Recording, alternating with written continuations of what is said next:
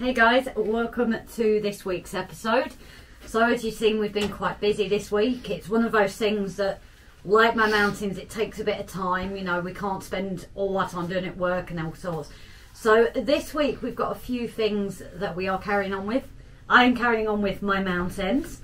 Um, they are still a feature of this um, this show, I suppose.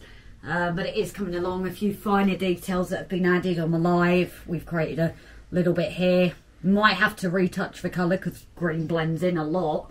Um, but I really think it is starting to show shape, especially somebody that carried on with his uh, with his uh, hill that hasn't quite finished yet. But I'm sure he will get onto that. We also have Rob doing some electrics today. So, I hope everyone is keeping well. I know the weather is starting to change. We've had some bad weather as well. So, do help help. Hope everyone is keeping well there as well. And the hatches are battened down. And that was the Alexa going off. But yes, more electrics from Rob as well. So I know you guys do like your electrics. I think he's planning to get it all running a bit smoother on that side. So guys, I think we're going to head off now, carry on with what we're doing. Oh, and I think I've been told I'm doing a bit of kit bashing as well. So guys, we're going to carry on and we're catching a bit. Bye. And what we got? We got switches. So obviously, some of the stuff I want to um, be able to turn on and off, like the street lights, um, that welding board that we were given, um, maybe the windmills and stuff. I don't know during the day. So what I've done off camera is created this block, um, just a spare piece of wood that we've had, just wide enough for these switches to go in and that's going to be mounted up next to the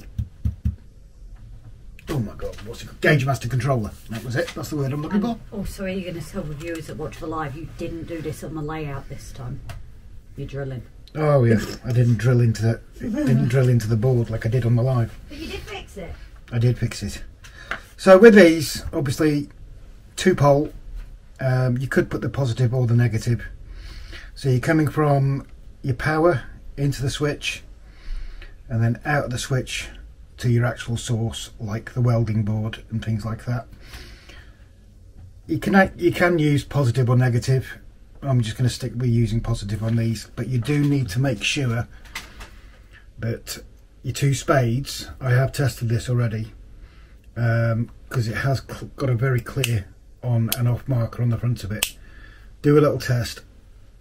Make sure your switch works the proper way so when it's up there the item comes on when it's down it's off luckily these ones when it's up there it is actually the positive spade there so when it's down that's when it go- when it goes off I'm not going to bore you guys like we always do here at RGJ Um, just a thought, Rob. You're Go. talking about positive spades. yes I have no clue what you mean, so there might be viewers that might not quite know what you mean. So I don't know if it's worth saying. Well, you get the male and female connectors basically. Um, this is a male connector, and then you get the female connector. Sadly, I haven't got any of the female ones, so I'm just going to actually solder them, solder the wires direct to these. But yes, that that's a spade or a male connector. Call it what you will. So, as I say, before somebody so very rudely interrupted, like I always do with hers, um, I'll get these all wired up in hyperlapse. I've got plenty. I've got probably three or four that are spare, but I'm still wiring them up. Redundant for now, but further down the line, it'll be different things. I'll want and switch, wanting to be able to switch on and off. Okay, guys. So I'll hyperlapse this so you can watch it.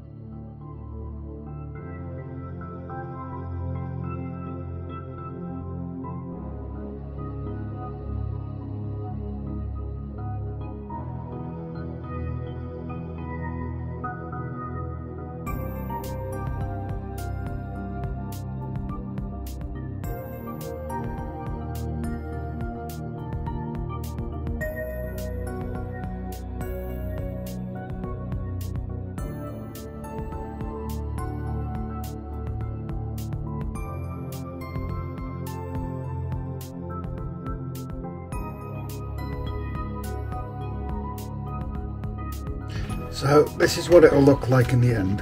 I'm obviously going to clean this up as well. Um, you'll, you did notice that I was checking them before I actually soldered the wires to the switches. Excuse me. It's worth checking than unsoldering it. It takes a couple of seconds to check with a little battery pack. Um, so they're solid in there and the wires just come out the back and I've also used a heat shrink tidy but it also prevents the two wires from touching each other and shorting out and that's what it'll look like. I'll do the rest off the camera uh, show you the end result including labels um, whilst Grace does her bit of kit bashing. Right so apart from um, sticking labels obviously at the start only a few of them will have like I've got redundant ones there as well. This is all but complete. I've painted it the brown just to try and tidy it up a bit. There's the back of it. That looks a bit messy. Um, but that's so I can have more control over the lighting and scenery and everything. Um, maybe a later down the line um, doing like points and stuff but they'll be on different switches. So yeah I hope you enjoyed it guys. Thank you very much. So it's my turn. So those who had seen the last video would have seen we managed to get given this amazing little station. station. It's on the I'm doing you now. it's a bargain finds video. Um, so we're kind of like going to do a kit bashing of it. Now, something I'd heard before was these plastic wallets you can buy. Now, on the video it probably looks like you can see through, but when you bring it further away, it's the clouded ones, like you'd have your uh, frosted windows. So, hoping for the top half of this to do the frosted windows look. So I'm just going to try and kit bash, get it attached to this, and then we've got to paint the lights up that the yellow colour as well to keep it from shining so bright. I'm just going to crack on with that, guys. So we're back again, and those of you who watch me as Madam Metcalfe, that name's definitely sticking from that. I'm oh, keeping oh, that. Yes, yes, you are now am, Madam Metcalfe. I am Madam Metcalfe. Well, because we sourced the other windows, it meant I had all these spare. And as everyone says, keep what you don't use. The reason being is we're now going to use them for in here. We're going to go with the large R1s for these bigger windows. And then we have the smaller sheets that work for the windows. And luckily, just fit the side as well. So I'm going to go and kit bash the windows onto the lower ones as well. And then have the frosted ones at the top.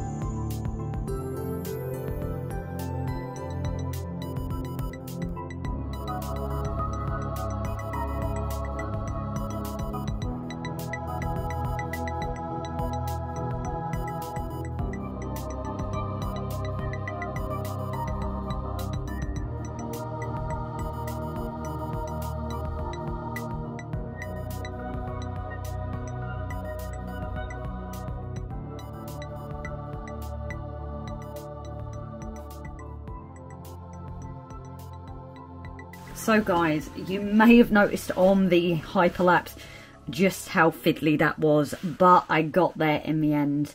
Reason being, I haven't done the other side yet. I will do that off of the time lapse. But as you can see now here, I've put the tissue there just to try and show you guys the lines.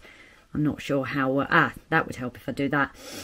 So I've managed to use the large aisle windows that are in the church set in these bigger windows and then with the doors we have the small ones. So because of the size it has created a different pattern which is brilliant. So you've got the full straight banners here and then on these ones you, we've got slightly curved just because of getting it to fit in. The sides will also be the smaller ones. Haven't got enough of the bigger ones unfortunately but that's that one done. It's very fiddly, so I do apologise if the camera angles at certain points as well didn't quite show you what I was doing. But having both sides, it wasn't the easiest to try and get that angle in there for you. And we also have our frosted windows now complete. We have kind of thought of a new idea, but we're not sure yet. So I'm going to have an experiment and see how that goes. So that will probably be on next week's just to add something different and we are all lighted lighted.